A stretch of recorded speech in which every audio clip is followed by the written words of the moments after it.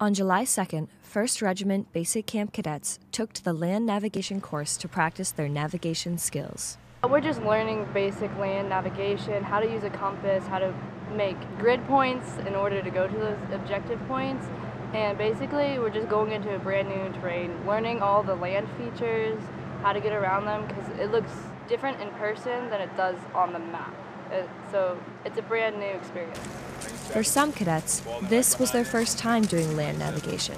I've never experienced it before. I've never done it, so this is my very first time. So this is my first time doing land navigation here, and I'm really, really excited, you know, to put everything to the test and, you know, develop and uh, hone my skills in land navigation and hopefully develop confidence in what I've been taught.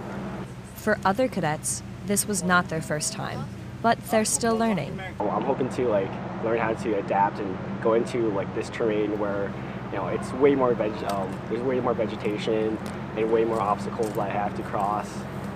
It's a little bit different from here because in Campo Santiago is like a desert area, so you have uh, small trees, you have a lot of flat areas. And over here it's like I'm starting to learn all over again from zero because the environment is really different. Cadets are retaught all of the basic skills in a classroom setting to ensure they know how to use a compass, read a map, and plot points correctly before they are sent out to the course. Before we come out here, we, we sit them in the classroom and teach them all this stuff again. The military is all about reteaching, reteaching, reteaching, so you won't forget it when it's time to test it. So it becomes muscle memory. Um, if you if it's not muscle memory, then you'll lose it in the mid, in the middle of a uh, contact or uh, heated area.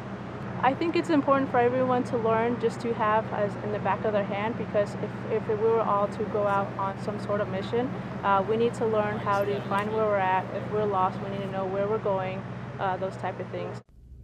From the CST Public Affairs Office, this is Reagan Zimmerman.